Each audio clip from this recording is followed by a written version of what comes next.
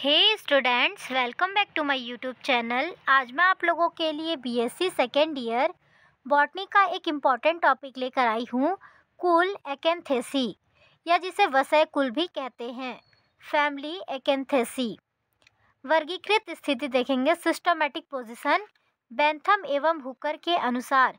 Bentham एवं Hooker ने Acanthaceae family को इस प्रकार से वर्गीकृत किया है.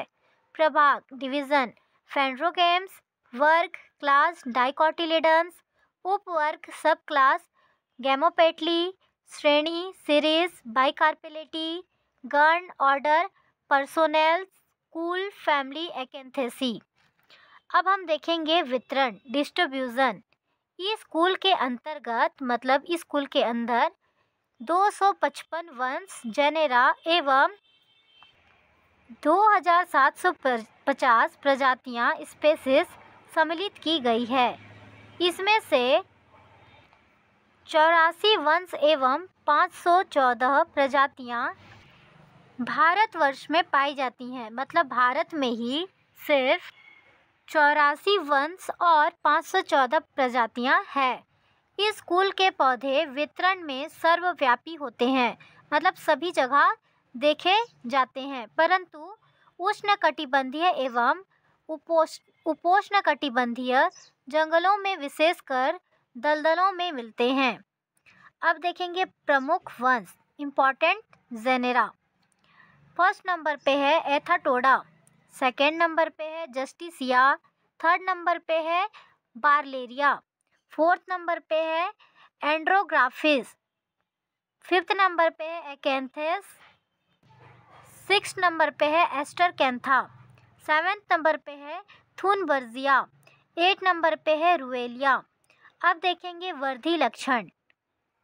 सबसे पहले देखेंगे प्रकृति, हैबिट। इस कुल के सदस्य प्रायः एक वर्षीय या बहुवर्षीय साक अथवा झाड़ी के रूप में पाए जाते हैं, जो एकेंथेसी कुल है उसके सदस्य एक वर्षीय मतलब जिनका जीवन काल एक वर्ष का होता है या बहुवर्षीय। जिनका जीवन काल एक वर्ष से अधिक होता है साग जो सबसे छोटे वाले प्लांट होते हैं, उन्हें कहा जाता है, अथवा झाड़ी। झाड़ी साग से थोड़े बड़े होते हैं, उन्हें कहा जाता है, के रूप में पाए जाते हैं। एकेंथस इलिसिफोली फोलियस एक मैंग्रू दलदलीय पौधा है। एस्टर कैंथा लांगीफोलिया एक जलीय पौधा है। मतलब जल में होता है, ठीक है? थून बर्जिया एवं मैंडोनिका एक आरोही प्रजाति है। जस्टिसिया एक साकीय पौधा एवं एधाटोडा एक सामान्य झाड़ी होता है। अब देखेंगे जड़, रूट।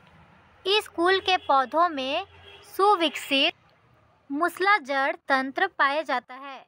जो एकेंथेसी कुल है इसके पौधों में सुविकसित मूसला जड़ तंत्र पाया जाता है। अब देखेंगे तना, स्टेम। तना वायवीय साकीय या काष्टीय प्राय सीधा एवं साखित होता है। रुएलिया ट्यूबरोसा में तना भूमिगत कंद भूमिगत कंद का मतलब होता है जब उनकी जड़ें भूमि में जाती हैं, ज़मीन के अंदर जाती हैं तो वो कंद बन जाती हैं। जैसे कि मूली। मूली की जड़ जब ज़मीन पे जाती है तो वो कंद बन जाती है। थून भर्जिया में आरोही या दुर्बल रेंगने वाले एकेंथस, इलिसिफोलियस एवं एस्टरकैंथा लांगीफोलिया में कंटीला होता है मतलब उनके प्लांट्स में कांटा होता है। उनके तने में, ठीक है? अब देखेंगे पत्ती, लीव। पत्तियाँ प्रायः अभिमुख ड्यू सेट सरल, पूर्ण एवं अनुपत्री होती है। कभी कभी पत्तियाँ पक्षवत, पालित भी होता है। उदाहरण, एकेंथस। मरुदभेद, प्रजातियों में पत्ती की फलक हार्षित होकर कांटों में रूपांतरित हो जाता है।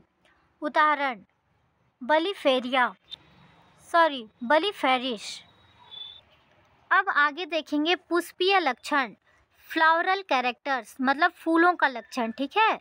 सबसे पहले दिया है पुष्पक्रम मतलब फूलों का क्रम। पुष्प क्रम प्रायः साइमोस प्रकार का होता है। पुष्प साइम में व्यवस्थित होते हैं। प्रारंभ में ये द्विशाखित साइम के रूप में होते हैं, परंतु बाद में ये एक शाखित साइम में परिवर्तित हो जाते हैं। कुछ पौधों में पुष्प, रेशम, स्पाइक अथवा अथवा पैनिकल के रूप में मिलते हैं। थून बर्जिया में पुष्प एकल कक्षस्थ क्रम में लगे रहते हैं। अब देखेंगे पुष्प मतलब फूल, फ्लावर पुष्प पूर्ण द्विलिंगी, जयांगोमॉर्फिक एवं अधोजयांगी होते हैं। ये सहपत्री एवं लघु सहपत्री होते हैं।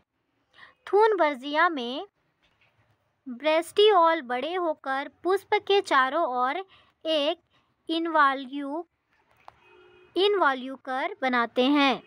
एधाटोडा, रुएलिया आदि में पुष्प के दोनों पार्श्वों पर एक एक बारलेरिया प्रियोनिटिस में अभिमुख एवं डिक्यूसेट रूप से व्यवस्थित दो जोड़ी कांटेदार ब्रैक्टियोल पाए जाते हैं। पुष्प प्राय चतुर्थई या पंचतई होते हैं। अब देखेंगे बाह्य दलपुंज, कैलेक्स, जो फ्लावर के सबसे बाहर वाले हिस्सा होता है, उसे कहते हैं।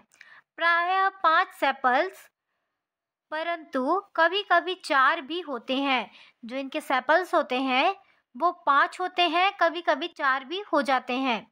थून बर्जिया में बाह्य दल अल्प विकसित तथा अस्पष्ट होते हैं।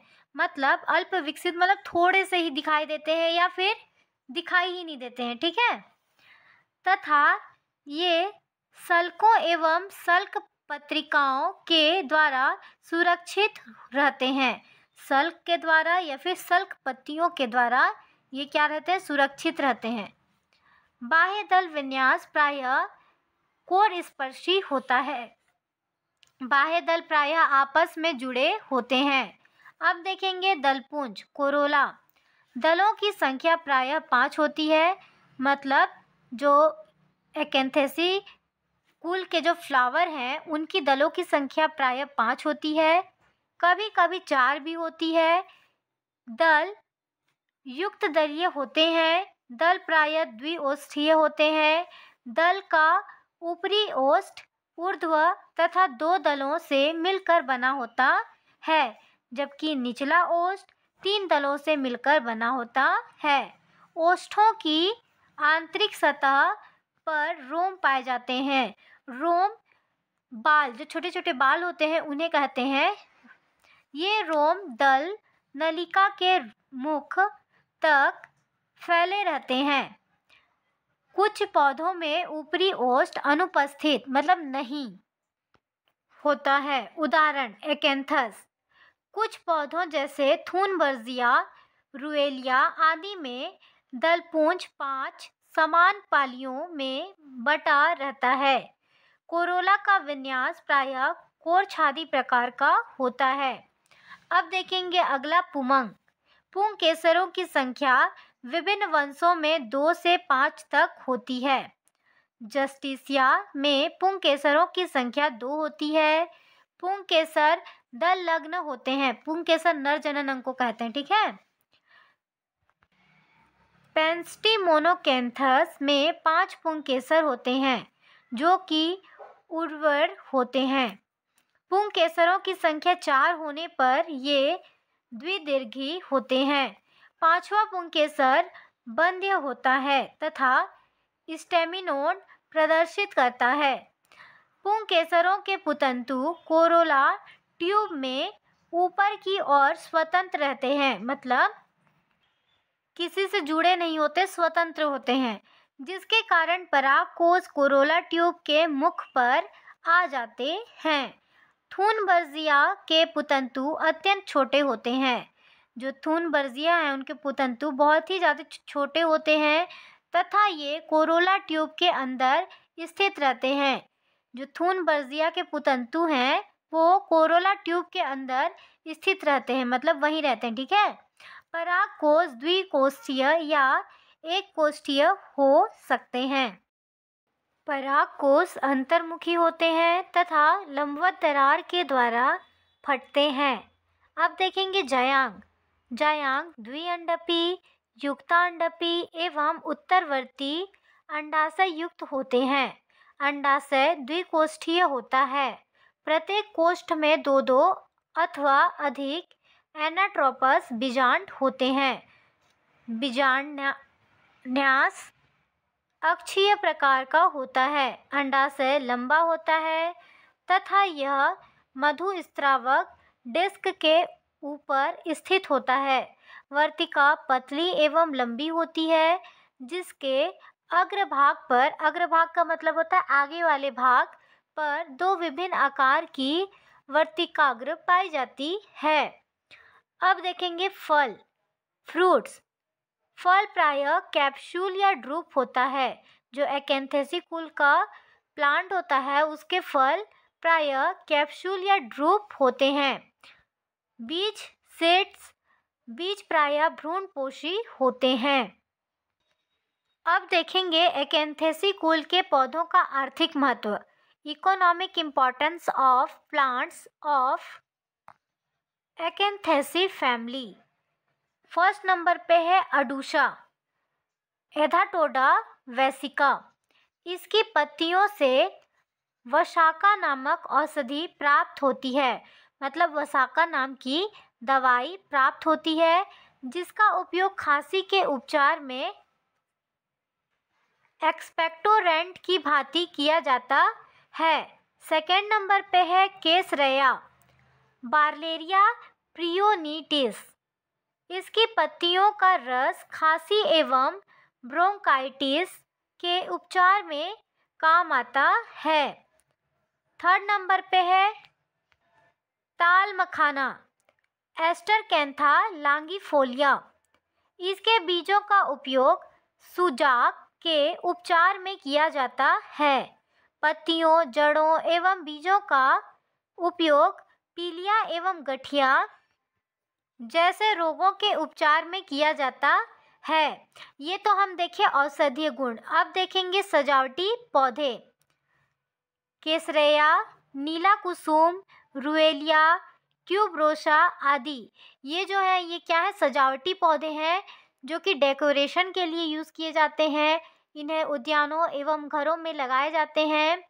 हमारा टॉपिक यहीं ख़त्म हुआ। अगर आपको हमारे चैनल से हेल्प मिलती हो तो प्लीज़ हमारे चैनल को सब्सक्राइब करें और कमेंट कर कर बताएँ कि नेक्स्ट वीडियो आपको किस टॉपिक पे चाहिए। Thank you